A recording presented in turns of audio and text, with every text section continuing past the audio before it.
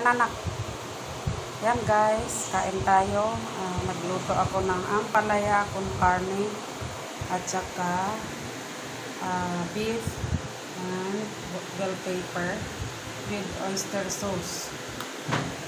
At tayo ay kakain na, guys. So, ah, let's pray. Ah, anak.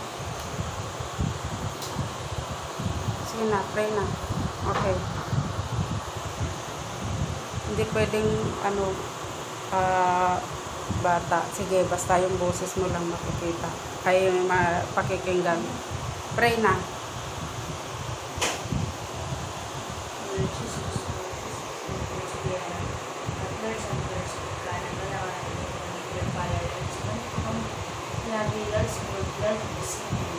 Amen.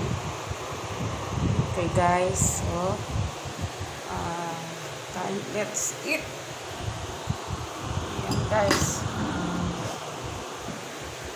Kain na.